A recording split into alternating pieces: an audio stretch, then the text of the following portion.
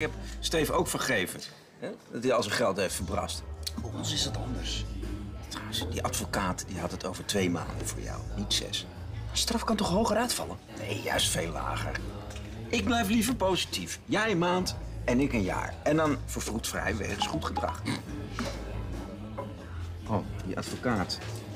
Die laat weten dat Filippa vier en een half jaar gevangenisstraf heeft gekregen. En wat betekent dat voor ons?